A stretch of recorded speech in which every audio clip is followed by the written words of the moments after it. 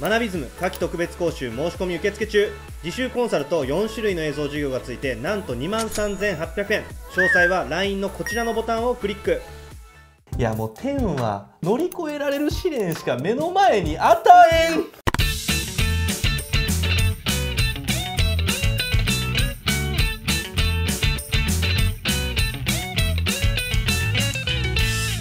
入試情報から勉強法まで受験生に役立つ情報を何でも話していきます。受験トークそれでは始めていきましょう。学びズムの吉尾です。はい、のやです。どうもこんにちは。お願いします。それでは本日の質問です、はい高3です。今まで勉強していませんでした。今から勉強して漢学間に合いますか？出ました。出ました。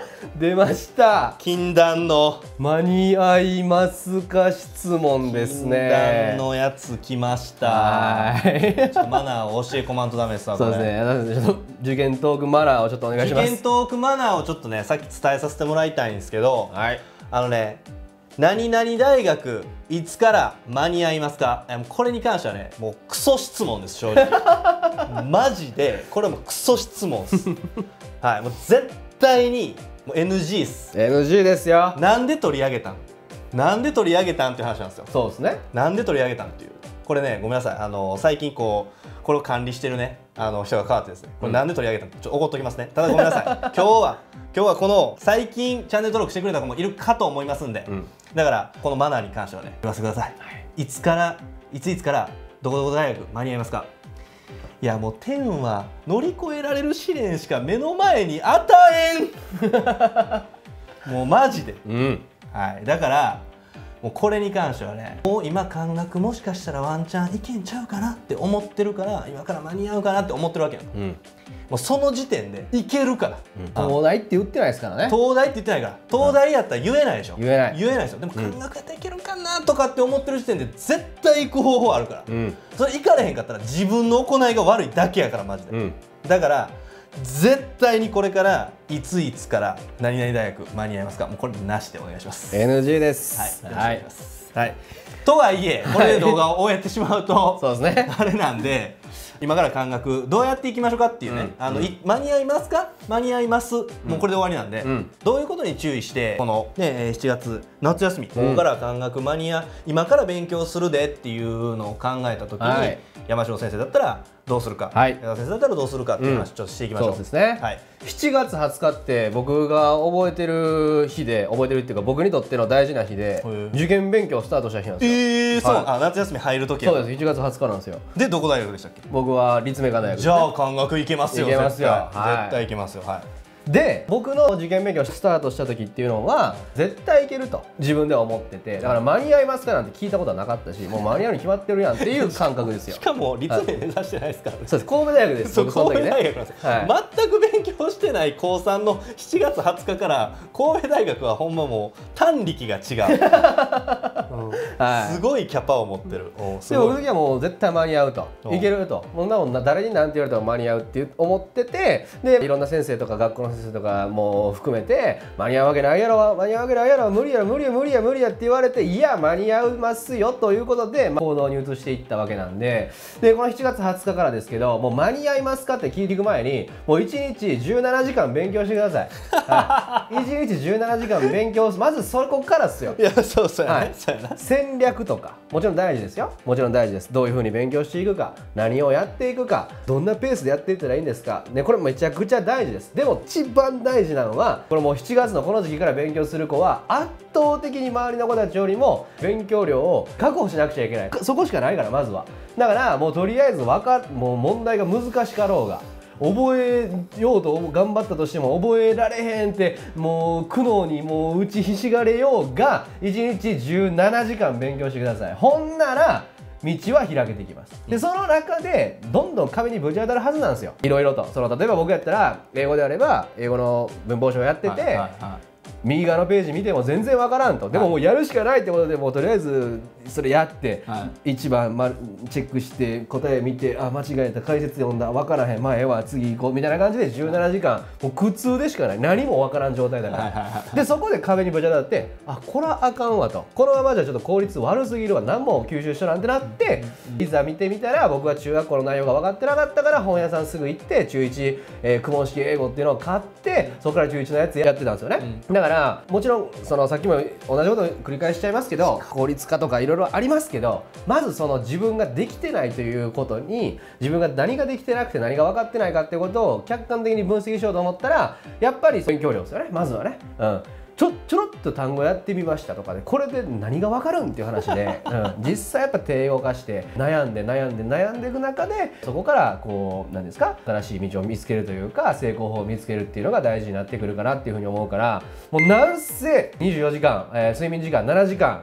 6時間とっても構いません。ね。でただ起きてる時間はもう全部勉強に費やしたら感覚には間に合うはずですからえしっかりとそれぐらいの意気込みでこの夏を迎えてください。やっぱ遅れてるわけじゃないですか。勉強してなかったってことは。ただでさえ差がある中でそのその子たちを本当に今の時代って僕ら多分僕らの時代よりも今カンカン乗り継いこうと思ったら厳しいじゃないですか、うんねそうね。っていう中でやっぱ勝とうと思ったらそれぐらいの覚悟やっぱいるっすよ、短期間で残り本当に6ヶ月7ヶ月ぐらいかの中で受かろうっていうのはなかなかしんどいと思うけどそれだけやったら受かるから最後まで頑張ってください。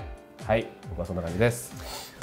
受験トークへの質問は LINE 登録後こちらのボタンをクリック。いや僕はね、うん。7月20日からじゃあ自分が全く勉強してない時にタイムスリップして7月20日からじゃあ何して、で今の情報量はある頭の中にある、とすればこれほんまにお世辞抜きで、うん。あの絶対学びズムの夏季特別講習やります。はいはいはいはいはいはい。これは宣伝ではなく、うん。宣伝ではないっすよこれは、うん。俺が一番合理的な手段で何もやってないベースで考えた時にこの世にある俺が見たことのあるものの中で一番合理的だなというふうに思うのがこれなんで絶対僕やったら学びズムの夏季特別講習でコンサルでまず全体の計画敷いてもらってそこから1ヶ月ざっとやって角度つけてから進めていきますね、うん。じゃないと今から言うたら第3は基本的に今のは力技じゃないですか。17時間力技勉強せよ。まずみたいな、うんうんうん、それはもちろんあるっていうか、もう俺もそんな覚悟決めてる体やから、うんいやその覚悟決めてないんやったらこの動画見んといてぐらいの感じやから、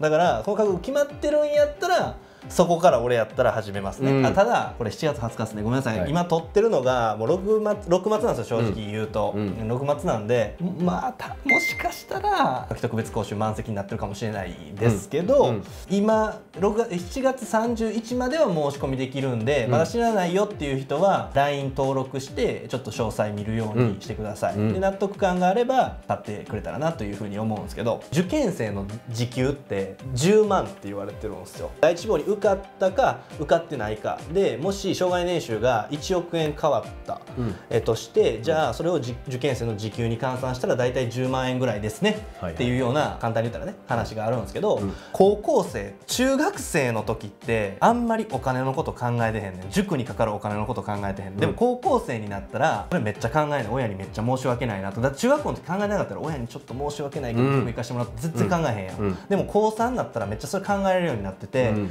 そんな安い金額でもないし、うん。あのすぐ考えるようになってるよね、うん。ただただ絶対にやった方がいいのは金で時間変えるんやったら絶対買った方がいいね。受験生って。うん。うん、まあで受験だけじゃないけどね。普通の日常生活でも、まあでもこれ雑談話し出したらクソ長なるから ややめとくけどはいはいはい。ほなねもう今から感覚間に合いますかの尺じゃない？なってまうから、うんうん。やめとくけどでも俺もそうだけどもう特に俺とかはマジで自分の時間と時給が釣り合ってないものに関しては絶対やらないしそれがお金で買えるんだったら絶対時間買うんですよ。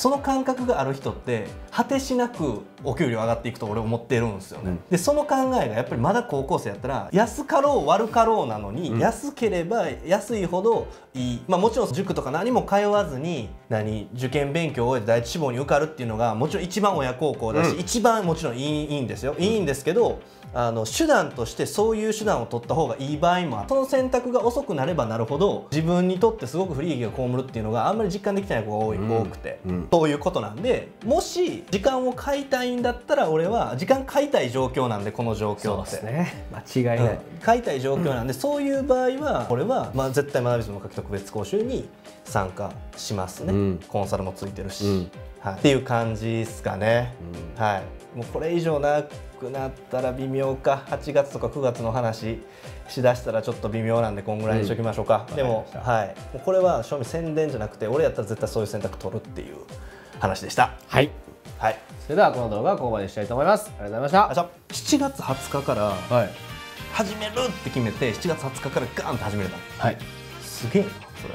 俺ちょっと時間かかったもんなで塾入って、本気でマジでやりだしたんで、そのなんかふわーってなっていったイメージあがあなるほどなるほど。ゼロ100じゃなかったから。いや僕今でもそうですけどやっぱゼロ百なんですよ。ゼロ100やガーンってやる時はもう誰も追随を許さないぐらいでできるけど、うん、そのやらなかったらもうほんまにそれに関しては触れないみたいな。確かに。もうこうしちゃうみたいな感じはやっぱ今でもあるんですよ。